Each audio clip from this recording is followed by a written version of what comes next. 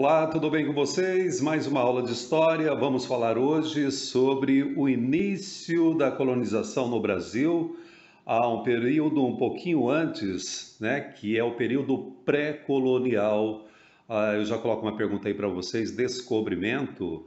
Pedro Álvares Cabral, ele descobriu o Brasil? Sim ou não? Qual a sua opinião? Foi um descobrimento realmente?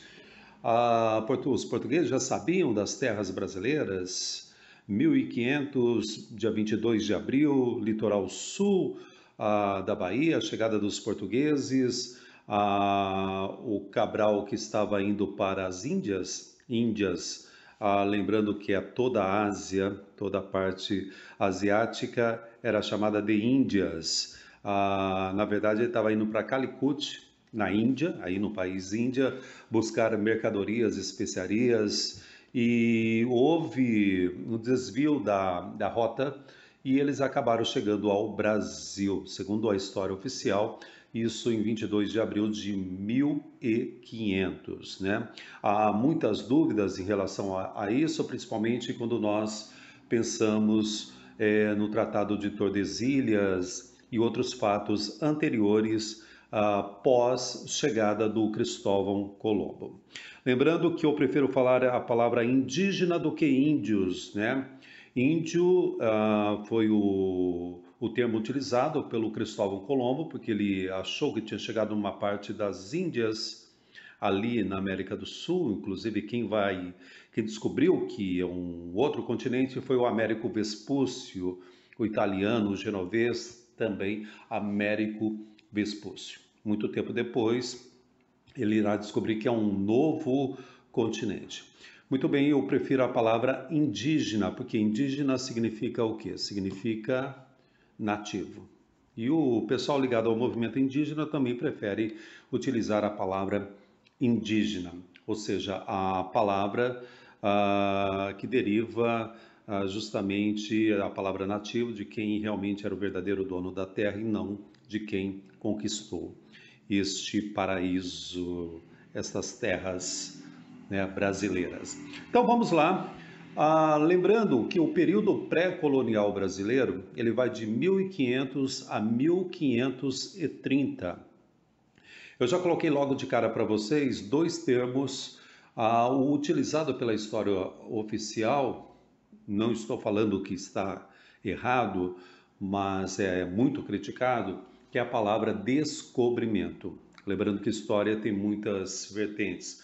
A palavra descobrimento, então eu gostaria que vocês fizessem uma reflexão sobre isso. Será que o Pedro Álvares Cabral, né, ele descobriu o Brasil? Aqui já tínhamos o quê? Já tínhamos nativos uh, aqui em terras brasileiras, né? Os índios, os indígenas, indígenas, e a palavra conquista, ah, nós podemos pensar que alguém pode conquistar algo através do que? Através da força, se colocando como que? Como um, uma pessoa superior, uma civilização superior, e é isso que os europeus vão fazer em relação aos indígenas, né? Estamos levando a civilização, o processo civilizatório. Estamos levando também ah, o cristianismo, e assim por diante. Estamos fazendo um bem para esses para, para esses povos que precisam o quê? Precisam conhecer o, a civilização.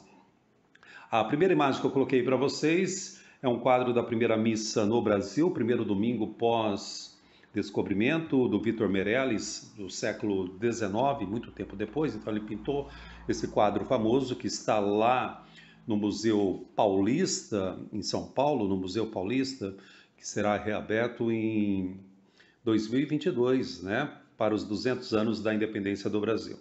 Esse famoso quadro retrata, então, é, baseado também na história oficial, qual foi a reação dos indígenas em relação à primeira missa, a essa dominação também, a gente pode fazer uma crítica, essa dominação cristã, já chegando, já junto com o poder da Igreja Católica, os indígenas observando a cerimônia, né, e não participando em si da cerimônia, mas sim num, numa, num lugar de observação.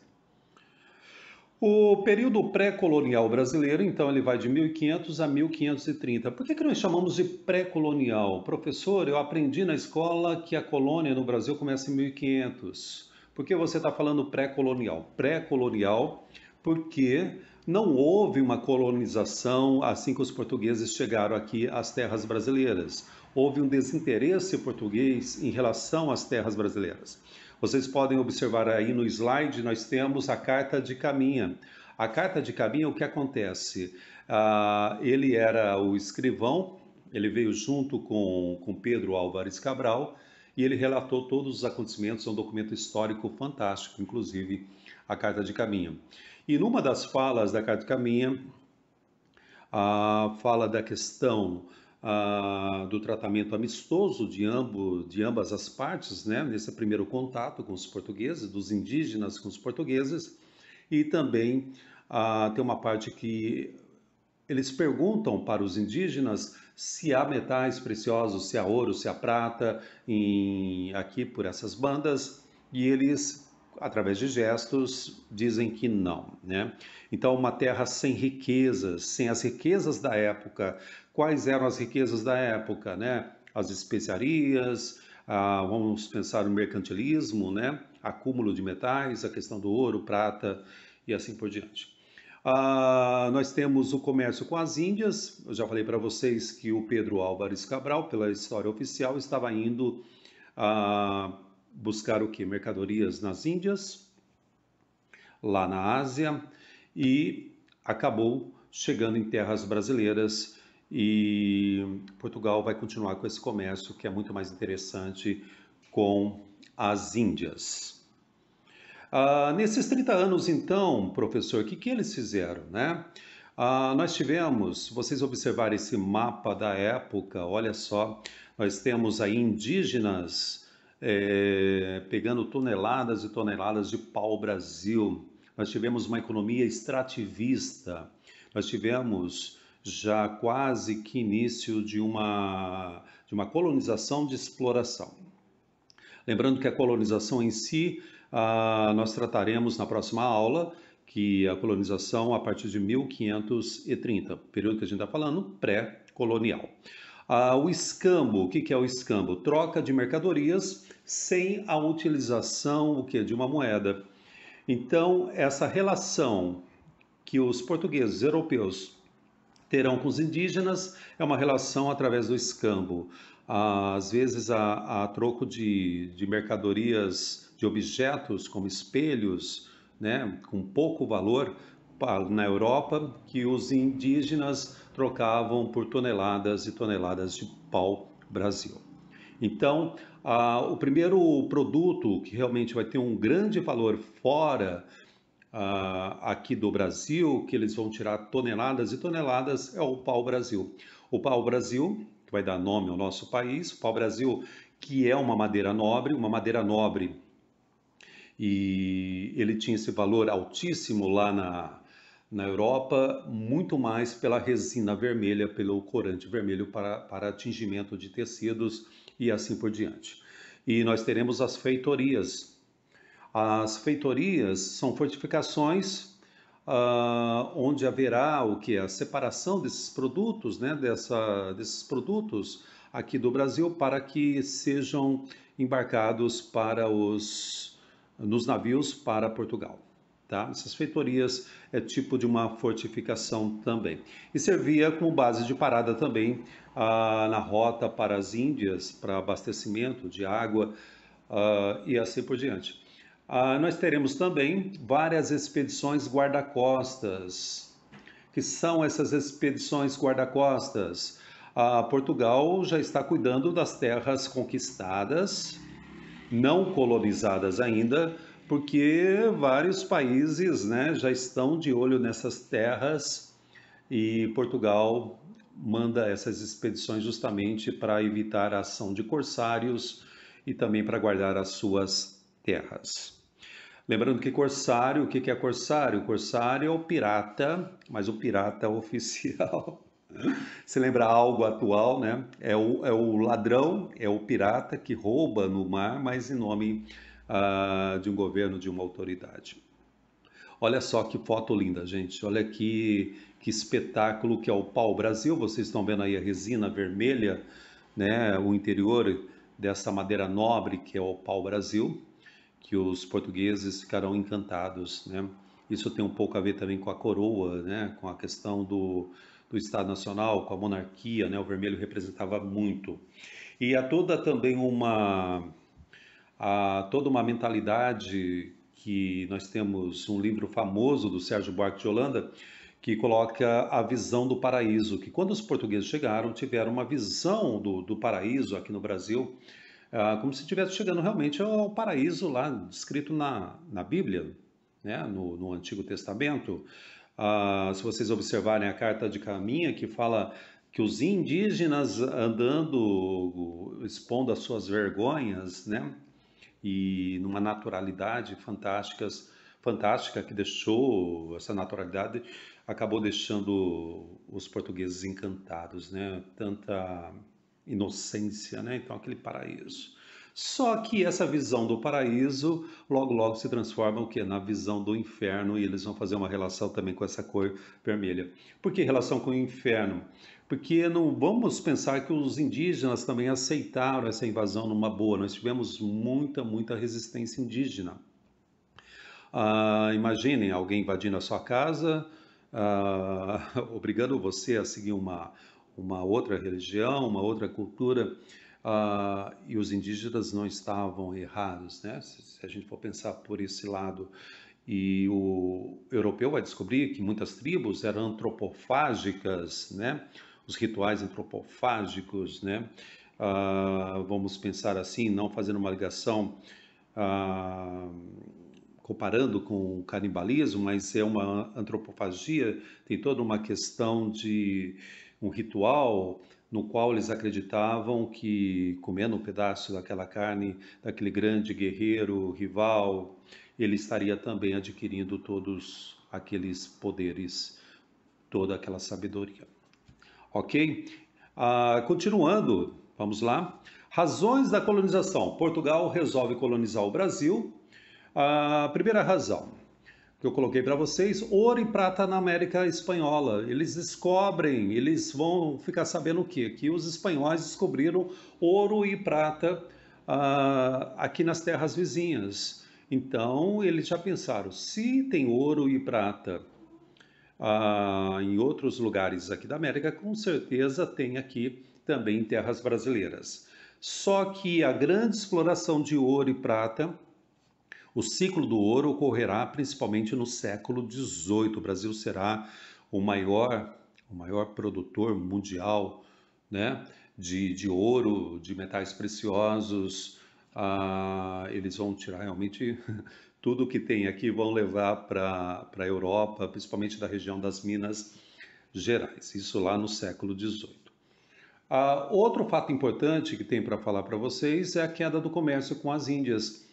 Ah, já não está dando lucro, já não, não, é interessante buscar especiarias e produtos ah, lá das Índias. Né? Esse comércio começa a cair em decadência e Portugal precisa o quê? Precisa de uma outra fonte, de um outro produto para que ah, desse lucros.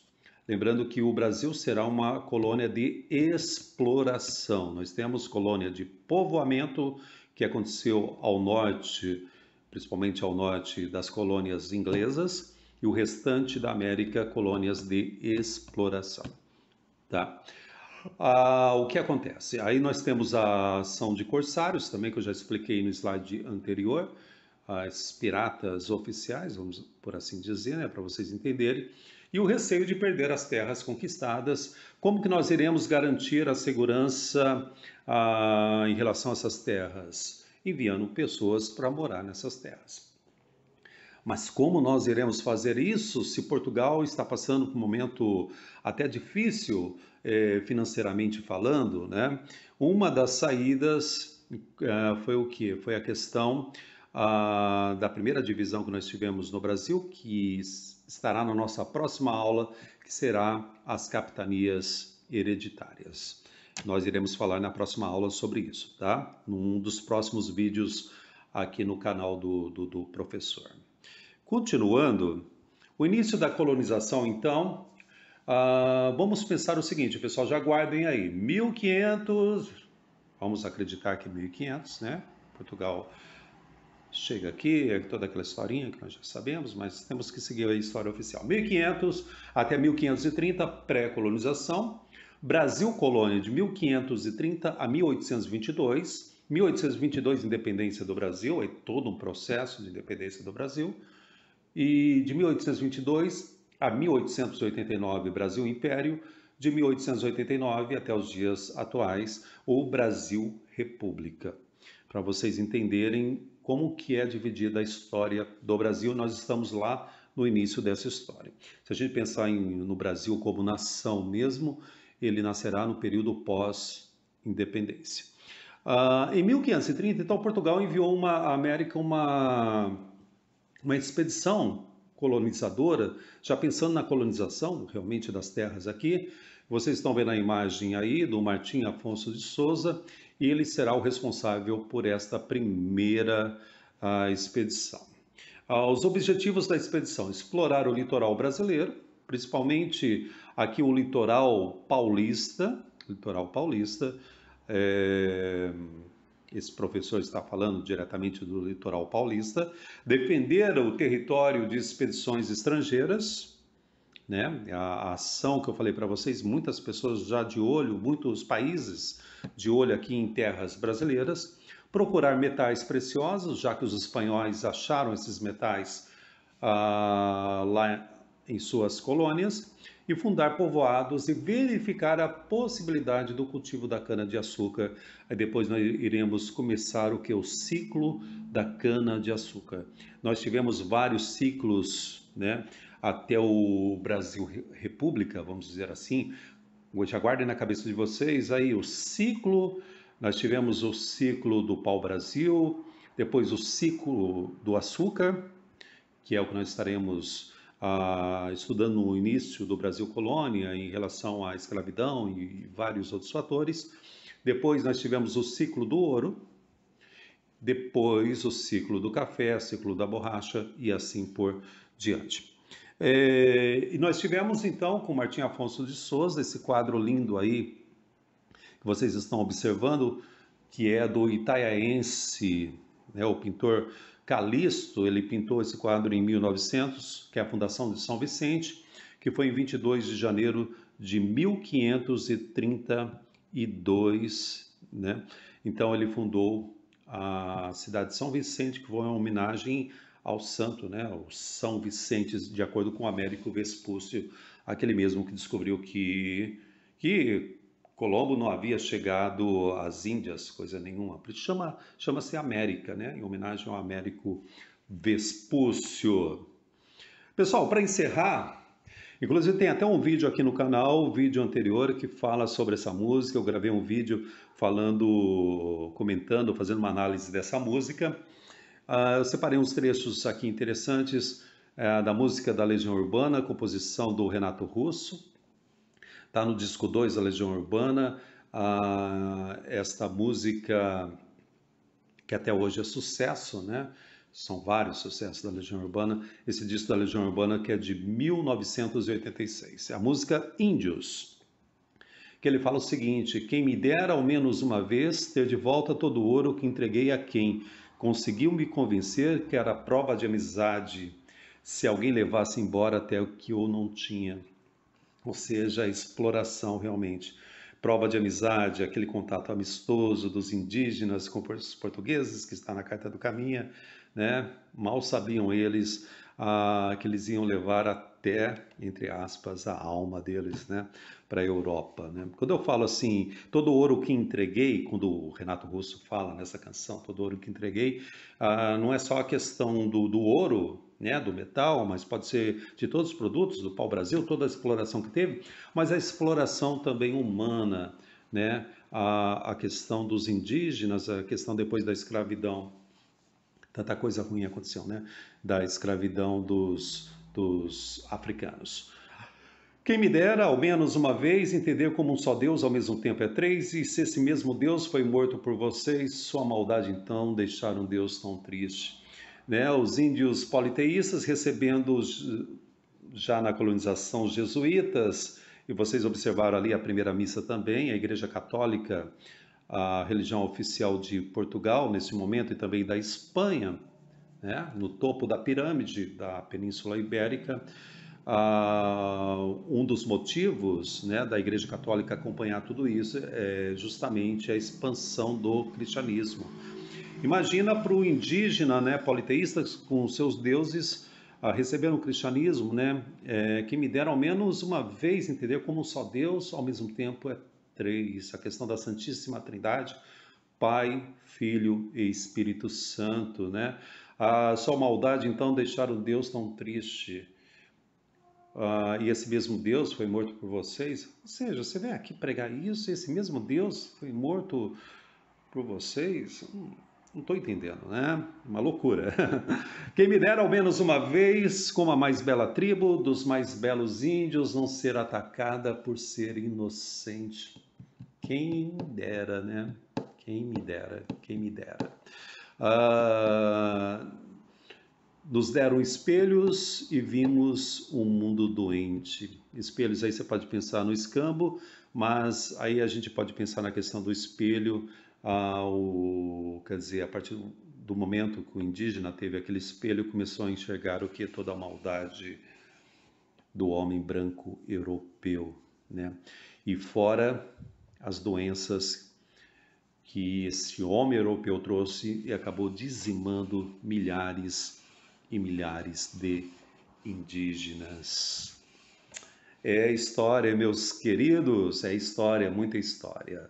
É, se vocês estiverem afim, dão uma, uma conferida aí no vídeo que eu explico a letra da Legião Urbana, que é muito mais, uma história muito mais profunda, além disso do que o professor acabou de explicar. Ok? Então, o nosso próximo passo em relação à história do Brasil, colonização, Portugal e os primeiros passos da colonização ah, pós fundação de São Vicente, a primeira cidade do Brasil em 1532. Ok? Abraços fraternos, até a nossa próxima aula. Valeu!